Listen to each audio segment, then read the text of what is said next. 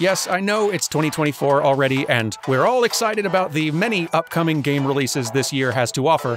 However, anticipation is no substitute for follow through, my friend, and I can't just let you stumble into another release year without sufficient awareness of all of the great game animation still to be found back there in 2023. Who knows how many beautifully animated games lie uncharted in your wake? Don't worry, I got you. I have been digging, and I am here to share the fruits of my reconnaissance a list of games with the best animation 2023 had to offer. Now, am I saying that this list is perfect, that no games were overlooked, and that my judgment of their quality is objectively correct? Yes. Now quit stalling and hop in, let's go! I love seeing the craft of traditional animation flourish anywhere, and 2023 was an unusually good year for 2D animation in games. Never in the five years I've been making these roundup videos have I had such an abundance of high quality candidates to choose from. It warms the heart.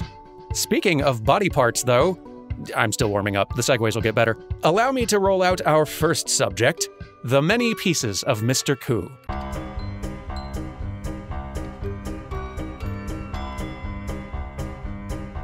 You don't see this kind of whimsical point and click adventure game very often these days, and you almost never see them with animation like this. Mr. Coo is a character created by Spanish animator Nacho Rodriguez, who's been working on assets for this game since, like, 2012. And it shows. This game may not be long, but it is a feast for the eyes, with some of the most outlandish and entertaining hand drawn animation you will find in a video game. Gazing upon this imagery, you might find yourself asking, what on earth is happening in this game? And I invite you to play it yourself and find out, because I don't want to spoil it, and also because I don't really know the answer myself. But if you are nostalgic for those surreal, inscrutable adventure games that would have you clicking all over a screen full of items just to see what would happen, or if you just have a soft spot for classic cartoons drawn in a style that really doesn't happen much anymore, The Many Pieces of Mr. Coo is a rare event that deserves celebration. But speaking of classic cartoons and only slightly better segues, let's talk about Disney's Illusion Island. If you were not already aware, Mickey Mouse cartoons have suddenly become good again. And by suddenly, I mean a decade ago.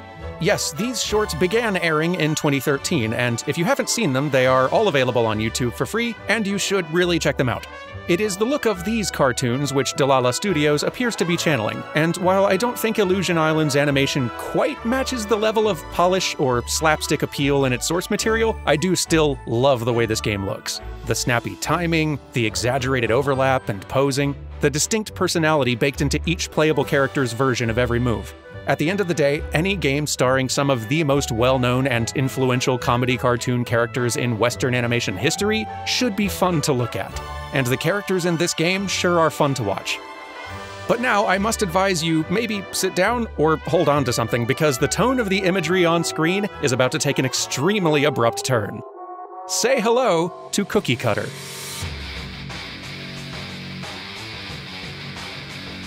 As I record this, I am very excited to see how I end up editing this footage in a way which shows the game off while also keeping the video even remotely monetizable.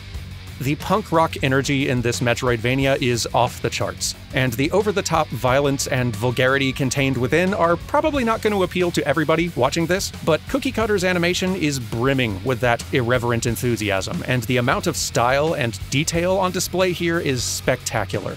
It's not often a game has me thinking, boy, I can't wait to frame through that animation later, this frequently during play. My compliments to the animators at Subcult Joint, who appear to be having entirely too much fun. Of course, great animation is not always about having high levels of detail, which brings me to my next subject. Now, we have all seen games which make clever use of limited animation to give a bit more life and animated personality to highly detailed but otherwise static characters. We had some great examples of games like that this year, in fact. But what I love about this next one is the way it kinda does the opposite thing. For your consideration, Worldless.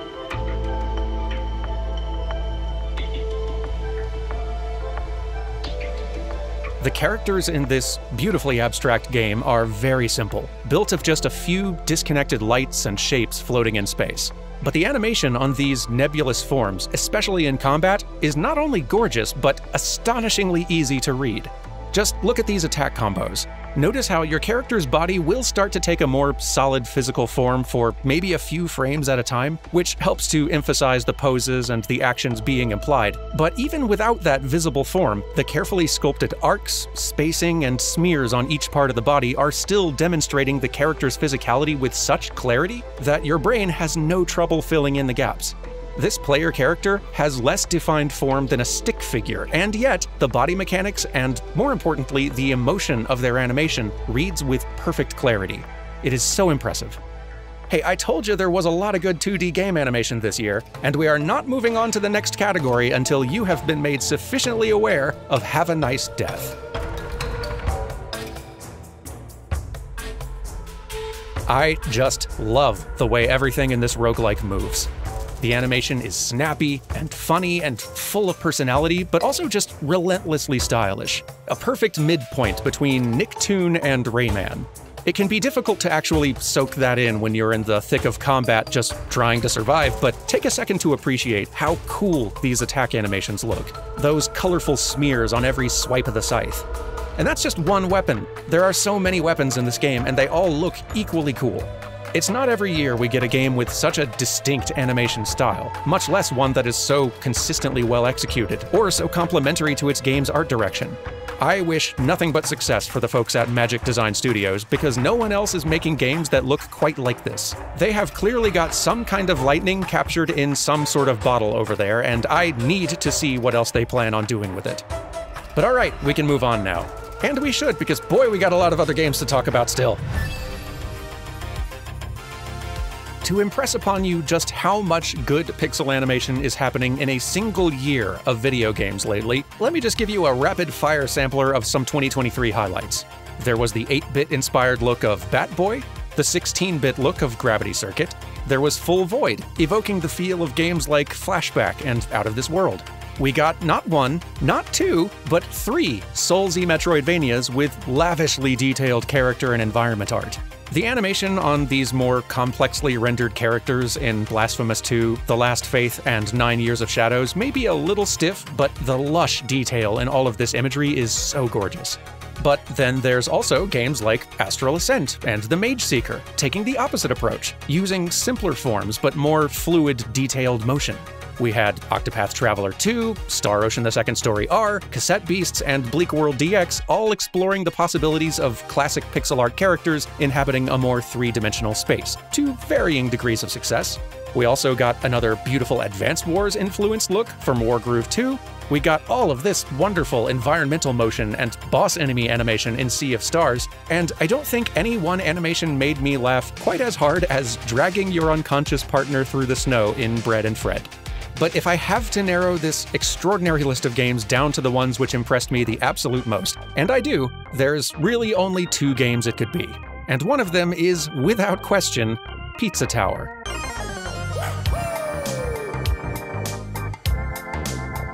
Pizza Tower may not literally contain more animation than the rest of 2023's games, but when you're playing it, it sure does feel like the most animated game you have ever seen. This game's animation is superb, but not simply because it is wacky, or because every move contains so many handcrafted frames of animation. That is impressive, but you can animate something poorly at a high frame count. Like, adding a dozen chaotic in-betweens to a bad animation is not suddenly to make it good. As I have often said, good game animation achieves the needs of both function and appeal. And this game obviously has appeal in spades. It is wild and weird and not a little unsettling, but what a fun game to look at. This poor goofball is really going through it right now, and you feel that barely controlled anxiety in every animation. But appeal cannot thrive without function.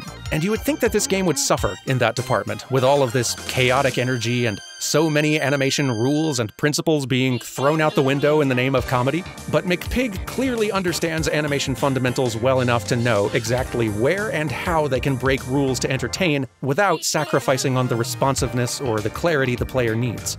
I won't be surprised if we see some other indie creators imitate this visual style in the future, but the level of animation skill on display here has ensured that Pizza Tower is going to be a tough act to follow. There is one other 2023 game with pixel animation worthy of discussion here, though, and one that I've not heard nearly enough people talking about yet. In the event that you've not heard of this one yourself, it is my great pleasure to introduce you to Sanabi.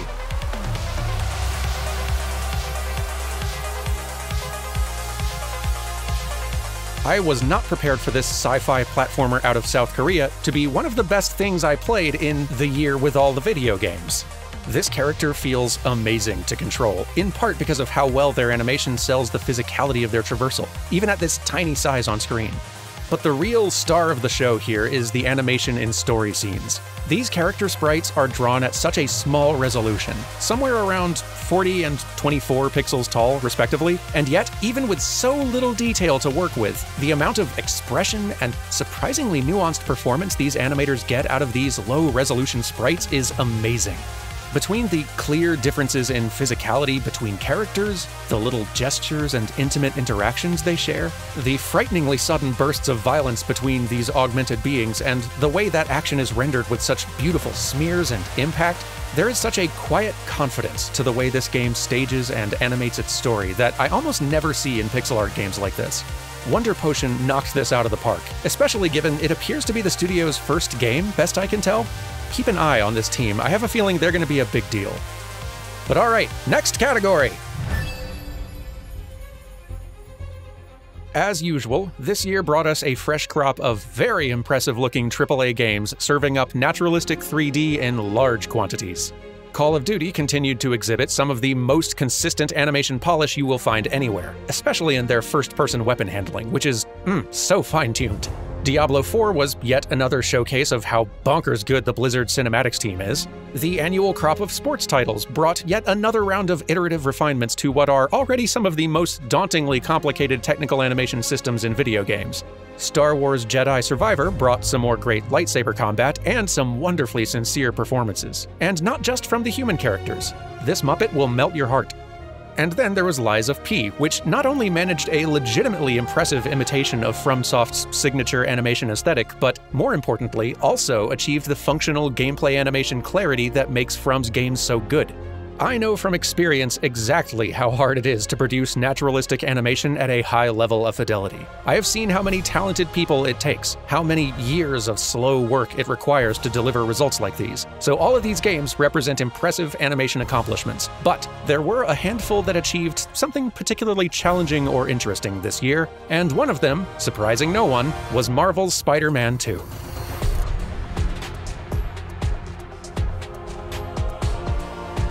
If the folks at Insomniac are going to keep delivering at such a high level, then I have no choice but to continue applauding them, even if my hands are starting to hurt. I have praised impressive action spectacle in a lot of games over the last five years, and I will do so again, but the look of Spider Man action is a quite unique thing when you think about it. It's all about quick, slippery agility. A character narrowly evading death by contorting himself around every hazard and flinging himself all over the place at high speed. It is scrappy and desperate, but also playful and exhilarating. And this team has the look of Spider Man action honed to perfection their swinging system, their combat system, the big set piece moments sprinkled throughout these encounters, it is hard to imagine a better animated Spider Man gameplay experience. The performances look great too, and it makes me so happy seeing a character like Hailey in a massive production like this. It's not just the existence of a deaf main character performed by a deaf actor, but the amount of effort so many people have clearly put into doing that character justice. I know exactly how time consuming hands and fingers are to animate, especially when it comes to intricate gestures. It's tedious, so I recognize the effort and care that have been put into animating proper sign language in conversations like these, and even animating characters at varying ASL skill levels. It just makes me happy. But hey, speaking of AAA studios with a frighteningly consistent track record of showing up in these videos, hello again, Capcom. I see you've brought a Resident Evil 4 remake. You shouldn't have. Come on in, give me your coat.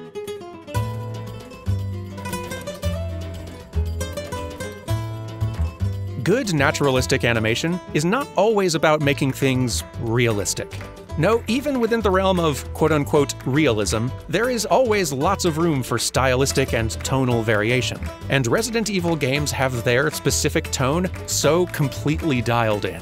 There is just the right amount of camp in the acting here, whether that takes the form of over the top scenery chewing or self serious machismo. All of it is performed with complete commitment and sincerity, no matter how absurd. It's not just the character performances during cinematics, though. The gameplay animation is also striking a similarly impressive tonal balance. The animation is grounded in real human physicality, but in a more heightened, slightly video gamey way. It's the spin kicks and the wrestling moves your hero occasionally deploys, or the way enemy hit reacts are cranked up to almost arcadey levels of exaggeration to better emphasize the impact of bullet hits and lend more gameplay clarity to the chaos. Capcom's animators have been knocking it out of the park in all of their big franchises lately, and I don't know how they're doing this so consistently across multiple teams, but wow, it's fun to watch. And that's not even the only AAA horror game with killer genre acting animation this year, because there's also Alan Wake 2.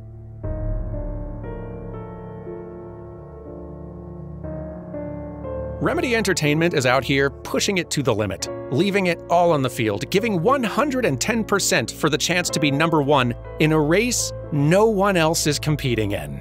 I love them.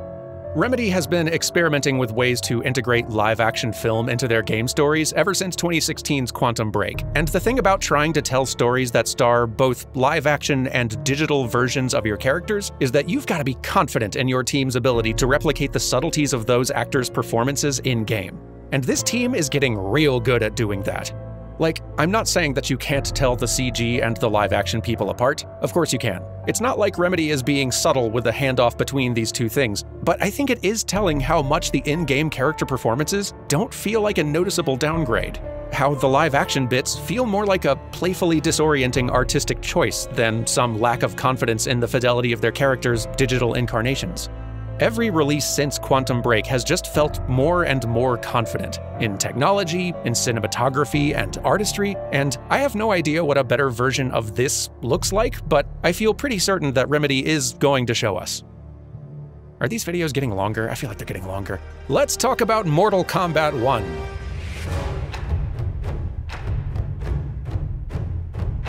The Mortal Kombat series has a unique aesthetic challenge built in. You see, most of today's long-running fighting game franchises began life with either a traditional 2D pixel art look or full 3D graphics. But Mortal Kombat's visual identity was built on digitized still images of live actors. It made Mortal Kombat stand out in an arcade, but that unique look also had its trade-offs. There was an uncanny, kind of charming stiffness to the way Mortal Kombat fighters moved. The characters may have looked more realistic than most fighting game sprites, but their awkward style of motion absolutely did not. But that's okay, because while this bizarre human stop motion isn't what I would call good animation exactly, it was very distinct and memorable. Mortal Kombat would switch to 3D graphics pretty quickly, but this look is still a core part of the brand's visual identity. It's what a significant number of people will see in their head when they think Mortal Kombat, and that presents an interesting challenge to someone creating animation for a new entry. How do you improve upon the animation of these classic movesets without stripping away everything that makes them recognizably unique? How do you make good animation that still evokes the clunky animation it's based on? NetherRealm has spent the last 12 years figuring that out, and I think that this is their most successful effort yet. And not even because of the elaborately gory finishers and special moves, even just these basic move sets on each character somehow have more natural body mechanics than we saw in previous efforts, while also managing to evoke the old clunky movesets more strongly. And that is astonishing. But NetherRealm has also been getting real good at faces over the last decade, and the face performances in these cinematics are easily some of the most appealing and expressive performance capture results I saw all year. Now, from the sound of things, working at NetherRealm has not always been a pleasant experience in the past, and I don't know how conditions are over there these days, but I sincerely hope that things have improved, because this team is doing some stellar work, and they deserve to work at the sort of place that strives to deserve them. But speaking of M-rated games and over-the-top violence, I think it's also worth mentioning Final Fantasy XVI.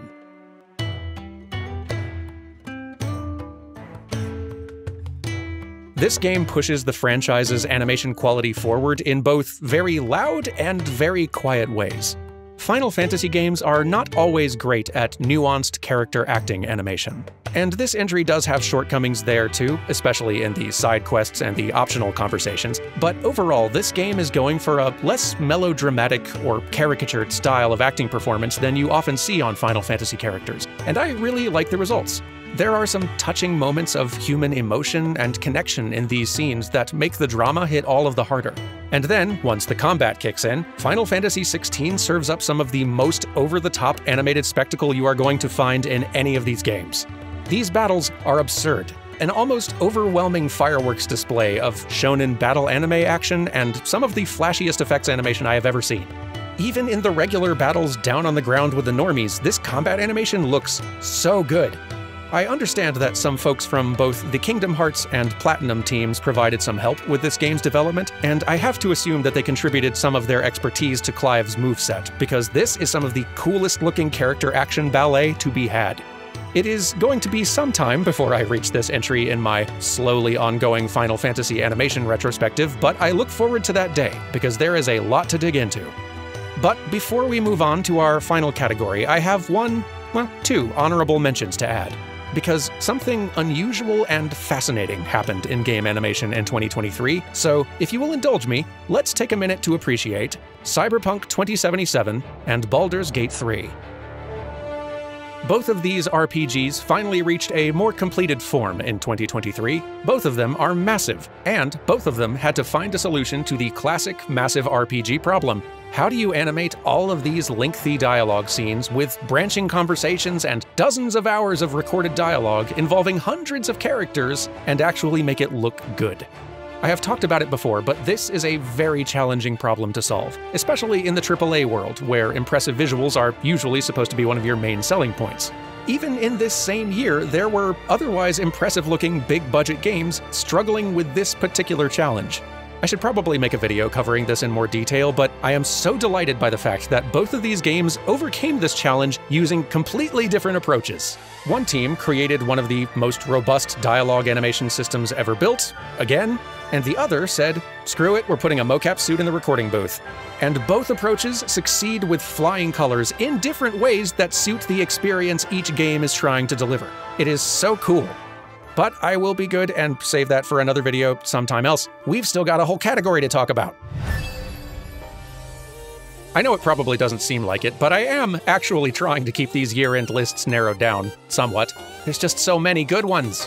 Like, this year, we got a very different kind of Bayonetta game that was smaller in scope, but still full of personality and charm we got another Capcom victory lap with Street Fighter VI. I find the slightly more exaggerated posing in the movesets of the previous entry a little more appealing, personally, but regardless, the animation here is fantastic, and these paint splash effects look so cool. We got another batch of great looking 3D anime cinematics and special attacks from MiHoYo in Honkai Star Rail. Arc System Works showed off some more with Granblue Fantasy Versus Rising, we got not one, but two new Sonic games with smaller scope and solid animation. Good for you, buddy. Proud of you.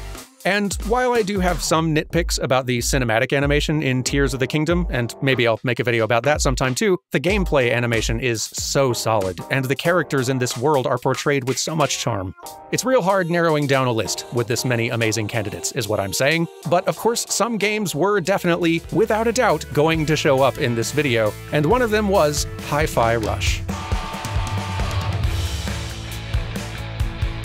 It's really easy to make the mistake of assuming that a studio who's become known for making one kind of game is only equipped to make that one kind of game.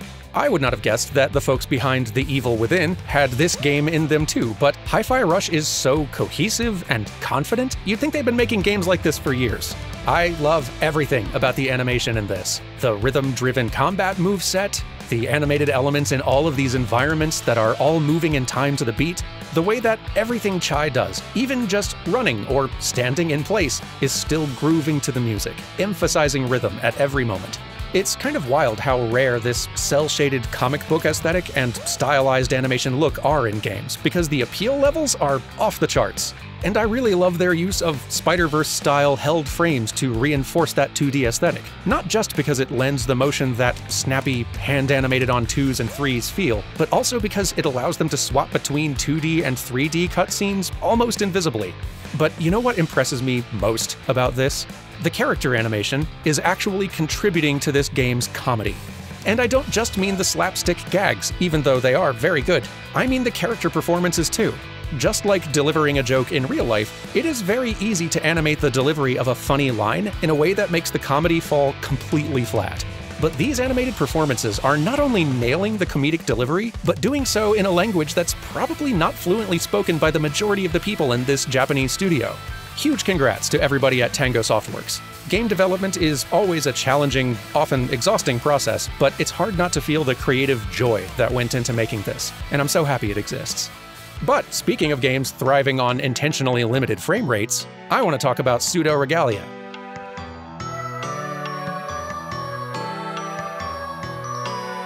This retro inspired Metroidvania may be a tiny indie project, and it does have its rough edges, but there are not a lot of 3D platformers with characters that feel quite this good to control.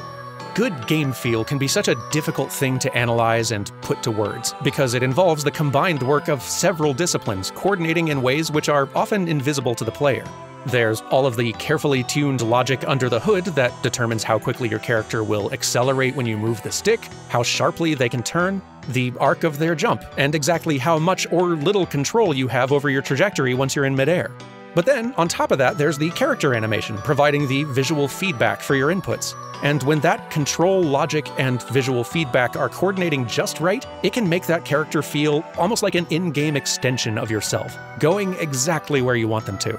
Now, the characters and the enemies in this game are all imitating that relatively low frame rate look of the N64 games, which inspired this aesthetic, and I would expect that to impact game feel in a negative way. I mean, your character's animation is only being updated every third frame. You are getting less visual information, right? And in some cases, that is true. Attack animations are a little muddy, and enemy movesets can be a lot harder to read and react to than I think they probably should be. But in terms of how your main character controls, the held frames have almost no negative impact on play, and I think that's for a couple of reasons. One, even if your character's pose only updates every third frame, your location in the world is updating on every frame, so your current position and trajectory through the environment is always clear. And two, the posing on these animations is really strong. So even though each frame is being held three times longer, the posing on those frames is dynamic and clear. And what's more, the limited frame rate actually makes your character's motion feel even more snappy. That's the benefit of held frames like this. It emphasizes those extended micro moments and sharpens the contrast between them. It's so cool seeing games like this which evoke the limitations of retro hardware while also improving upon and polishing the gameplay experiences that inspired them. But at last, only one 2023 game remains to be celebrated. And again, to the surprise of absolutely no one, that game is Super Mario Bros. Wonder. One of the bigger challenges when animating a cartoon character in 3D is figuring out how to match the appeal of a 2D drawing.